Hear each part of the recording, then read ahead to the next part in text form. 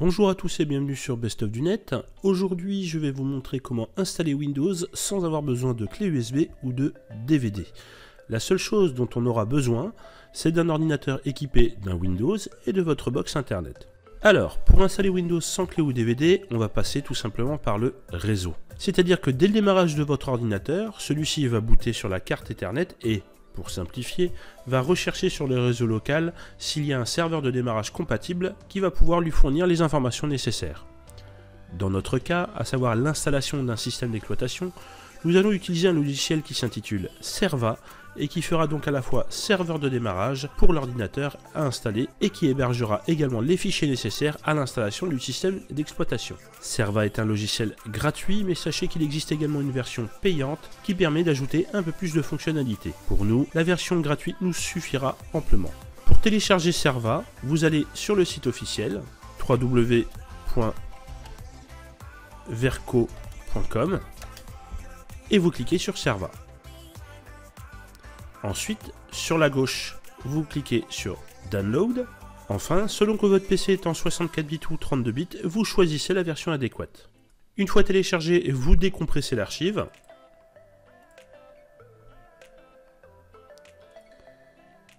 Vous allez dans le dossier et vous lancez Serva.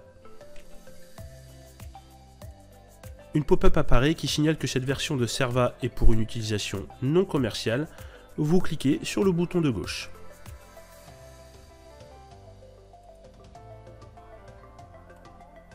Au premier démarrage de Serva, il y a juste une fenêtre qui apparaît et il ne se passe rien d'autre.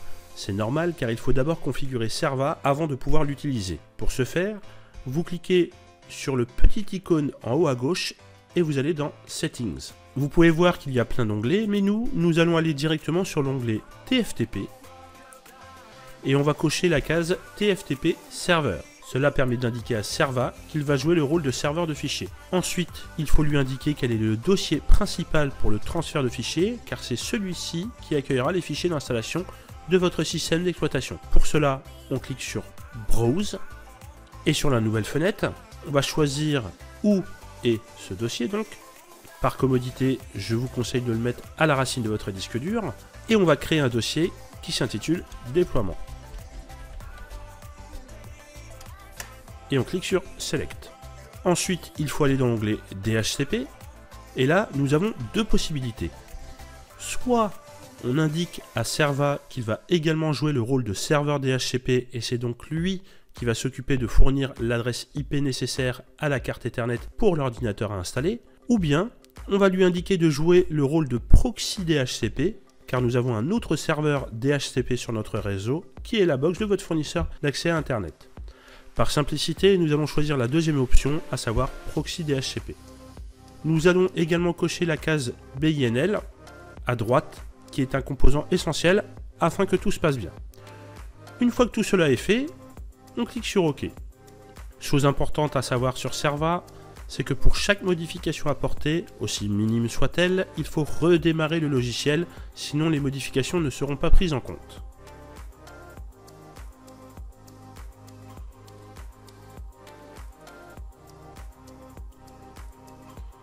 Une fois que le logiciel est redémarré, on s'aperçoit que des onglets sont apparus.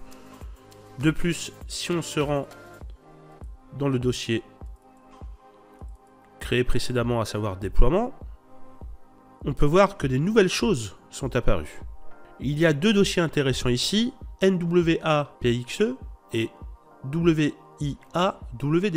Le premier va permettre de démarrer sur des images ISO bootables, comme l'installation d'Ubuntu par exemple, et le second va permettre de démarrer l'installation de Windows.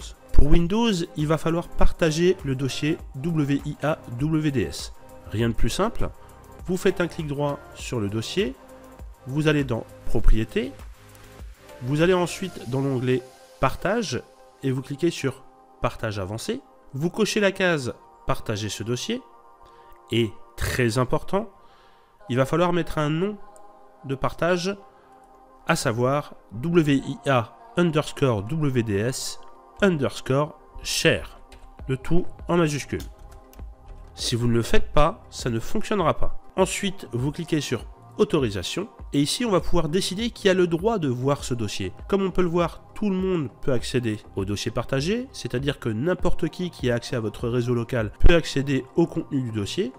Pour Serva, il faut obligatoirement ajouter un utilisateur spécifique pour le partage. Cet utilisateur, ça peut être n'importe qui, mais je vous conseille fortement de créer un utilisateur spécifique pour l'utilisation du logiciel. Donc, pour créer un utilisateur, si vous êtes sur Windows 7, vous allez dans le menu Démarrer, vous faites un clic droit sur Ordinateur et vous choisissez Gérer. Si vous êtes sur Windows 10, vous faites directement un clic droit sur le logo Windows en bas à gauche et vous cliquez sur Gestion de l'ordinateur. Ensuite, vous allez dans Utilisateur et groupe, vous faites un clic droit sur Utilisateur et vous faites Nouvel utilisateur. Dans Nom d'utilisateur, vous mettez un nom simple à retenir et dans Mot de passe, vous mettez quelque chose de simple. Pour ma part, je mets la même chose que le nom d'utilisateur. Donc ici, je vais mettre test et en mot de passe, la même chose. Je confirme le mot de passe. Ensuite, vous décochez la case comme quoi l'utilisateur doit changer son mot de passe à la prochaine ouverture de session, et vous cochez la case le mot de passe n'expire jamais. Une fois que tout cela est fait, vous cliquez sur Créer, ensuite Fermer. Vous allez pouvoir retourner dans les propriétés du dossier, vous cliquez sur Ajouter, vous tapez le nom d'utilisateur créé précédemment, donc pour moi, c'est test. Vous cliquez sur vérifier les noms et ensuite sur OK. Vous cliquez sur appliquer, OK, appliquer, OK. Et enfin, fermer. Votre dossier est maintenant partagé correctement. Dans ce même dossier, nous allons créer un dossier intitulé Windows 10 par exemple.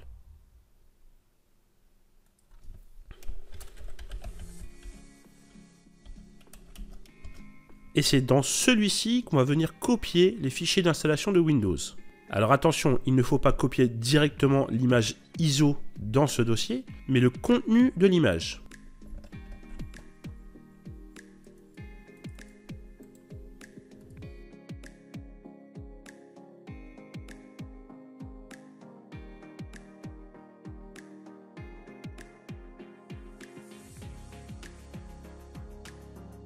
Une fois que cela est fait, il faut obligatoirement fermer Serva et le redémarrer afin que les nouveaux paramètres soient pris en compte.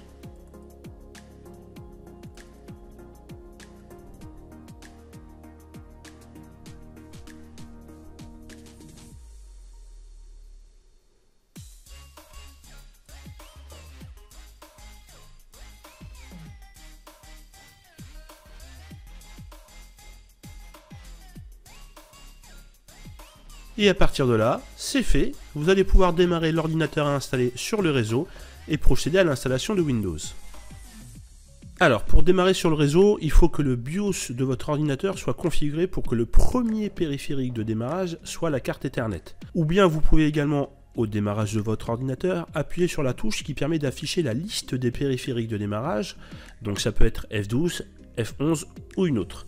Tout dépend de la marque de votre ordinateur ou de la marque de votre carte mère. Si vous ne savez pas, vous pouvez vous renseigner sur le manuel de votre ordinateur ou bien demander dans les commentaires sous la vidéo avec la marque de votre carte mère et ou de votre ordinateur et je tenterai de vous aider. Une fois que tout cela est fait, vous n'avez plus qu'à démarrer sur la carte Ethernet.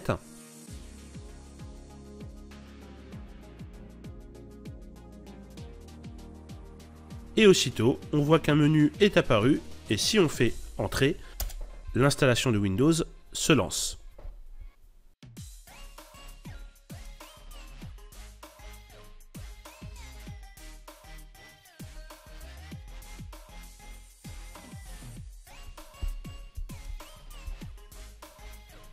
Pour que l'installation de Windows puisse continuer, il va falloir renseigner le nom d'utilisateur et le mot de passe du compte Windows que nous avons créé précédemment. Donc, de mon côté, c'est test. On clique sur Connect. Et voilà. L'installation est lancée et elle va se dérouler comme si c'était une installation via une clé USB ou un DVD. Voilà pour cette vidéo qui va vous permettre d'installer Windows sans clé ou DVD et cela est extrêmement pratique car si de votre entourage ou famille quelqu'un a besoin qu'on réinstalle son ordinateur, il a juste à le ramener chez vous. Vous, vous branchez un câble Ethernet dessus et sur la box, vous configurez son PC pour qu'il démarre sur le réseau, vous lancez de votre côté Serva, et voilà. La vidéo touche à sa fin, je vous remercie de l'avoir regardé jusqu'au bout. Si elle vous a plu, n'hésitez pas à mettre un pouce bleu afin de mettre en avant mon travail. Si vous avez besoin d'aide sur Serva ou bien si vous avez besoin d'explications supplémentaires, laissez-moi un commentaire sous la vidéo. Enfin, n'hésitez pas à partager la vidéo sur les réseaux sociaux car je trouve que ce logiciel est d'une simplicité incroyable et qu'elle peut aider pas mal de gens. Je tenais également à remercier Michael euh, de la chaîne Tech 2 Tech car c'est en visionnant une de ses vidéos que j'ai découvert Serva et je voulais vous le faire découvrir à mon tour. Allez checker sa chaîne car il fait des vidéos excellentes avec de très bons tutos. Je vous remercie encore, je vous dis à très très vite, ciao YouTube